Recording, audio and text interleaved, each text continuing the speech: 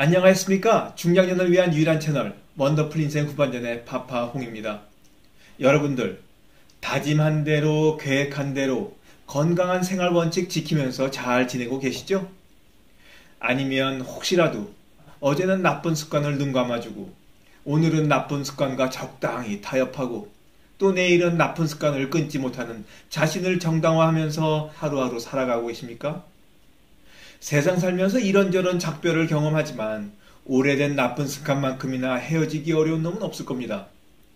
만약 살아온 인생이 후회로 가득하다면 그 중심에는 바로 나쁜 습관이 떡하니 자리 잡고 있는 게 분명합니다. 결국 우리 인생을 결정하는 것은 습관이지 않을까 생각합니다. 좋은 습관이 많은 사람은 자신이 원하는 인생, 자신이 세운 목표를 이루고 살고 있을 가능성이 높고 나쁜 습관에 푹 젖어 살아온 인생이라면 뭐 말 안 해도 그 결과는 비디오 아니겠습니까? 그래서 오늘은 또 무심결에 지나쳤을 암을 부르는 나쁜 습관들에 대해 이야기해 보려고 합니다. 대장암 발생률 세계 1위인 대한민국. 우리들은 하루빨리 이 나쁜 습관에서 헤어나와야 합니다. 구독과 좋아요 버튼 누르는 거 잊지 마시고 오늘도 영상 끝까지 함께 해주시기 바랍니다. 감사합니다.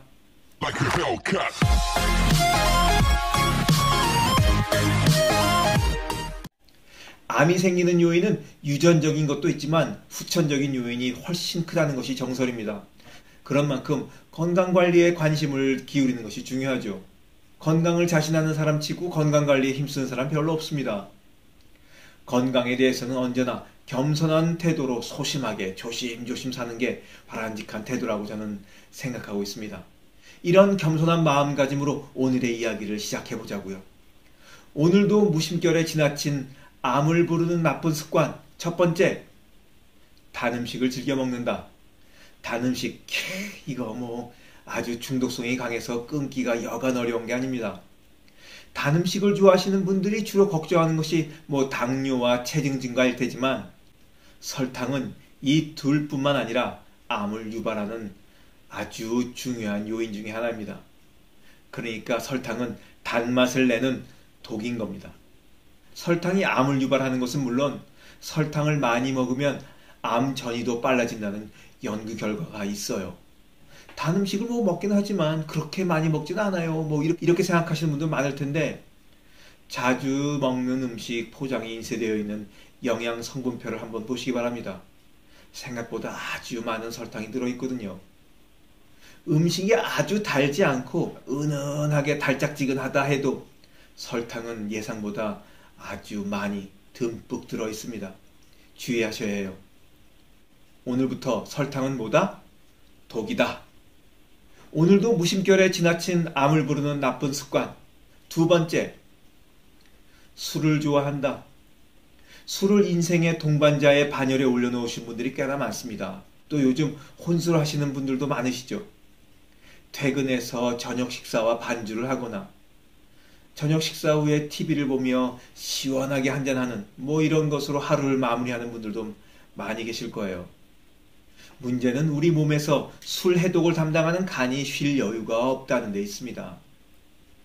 간암의 특징이 암이 진행되어도 증상이 없거나 미미해서 간을 침묵의 장기라고 부르잖아요. 그러니까 간암은 바로 침묵의 살인자인 겁니다. 여기 옆에 간암 사진 보시고 매일 홀짝홀짝 마시는 술조차도 하루빨리 끊으시기 바랍니다. 이게 아주 심한 분의 사진이 아니라 대부분의 간암 걸렸다 하면 이렇게 된다 그래요. 오늘도 무심결에 지나친 암을 부르는 나쁜 습관 세 번째 담배를 핀다. 오늘도 식후에 맛있게 담배 한 대쭉 빠셨습니까? 담배 속에는 약 40여 가지의 발암 물질이 들어있다 그러죠. 그러니 앞서 말씀드린 술과 함께 담배를 한다면 야, 이건 뭐 건강에 대한 얘기를 할 필요가 없는 거죠. 만병의 근원인 이 두 가지, 술과 담배를 하면서 산을 좋아하네, 자전거를 타네, 뭐 이러면서 건강관리에 열심히 다 하시는 분들 주변에 계세요. 뭐 그렇게 말씀하시면 뭐 마음이라도 좀 편하시겠죠. 여기에 더해 흡연자들이 착각하는 것이 뭐냐면, 아니, 믿고 싶어 하는 게 뭐냐면 담배 한 대 피우고 스트레스를 풀면 정신 건강에 더 좋고 그래서 폐암도 안 걸리고 누구보다 더 오래 살 수 있다는 이런 헛된 믿음이 신앙처럼 또아리를 딱 틀고 있다는 거예요.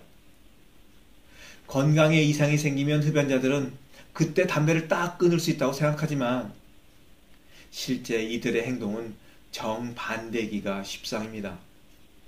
암에 걸려 고생하면서도 유일한 인생의 위안일 수 있는 그 담배를 놓지 못한다는 거죠.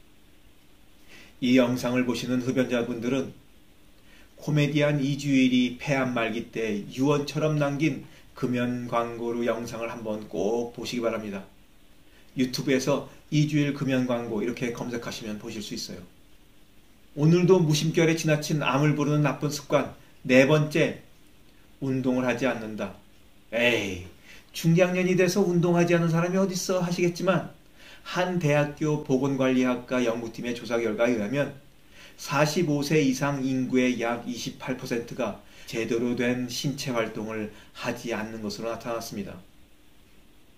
또 다른 조사에 의하면 우리나라 50세 이상 중장년층이 제일 많이 하는 주중, 주말 여가 활동은 TV 시청으로 50%가 차지합니다. 또 90% 이상이 여가 활동을 주로 집에서 한다고 답합니다. 헬스나 산책하기, 뭐 텃밭 가꾸기 등도 있지만 아주 미미한 뭐 1.8%, 1.6% 아주 이런 수준이었어요. 운동을 하면 몸의 피로가 풀리고 스트레스가 해소됩니다. 그리고 혈액순환이 더욱 활발해지죠. 이렇게 혈액순환만 원활해져도 암 예방에 크게 한몫한다 그래요. 근력 운동, 지구력 운동, 유산소 운동, 유연성 운동, 뭐 골고루 열심히 하시기 바랍니다. 너무 지나치게 하시지 마시고요. 오늘도 무심결에 지나친 암을 부르는 나쁜 습관. 다섯 번째, 과일과 채소를 뭐 그다지 많이 먹지 않는다. 풍성하게 과일과 채소를 먹는 게 좋습니다. 아유, 말해 못하겠습니까? 뭐 그렇다고 채식주의자가 되자는 말은 아니니까요. 채소의 섬유질은 소화를 원활하게 만들어주고 미네랄과 비타민은 스트레스와 피로 회복에 아주 좋습니다. 간식된 단 음식 드시지 마시고 과일을 드시면 좋고 식사를 하실 땐 채소와 곁들여서 많이 풍성하게 드시길 바랍니다.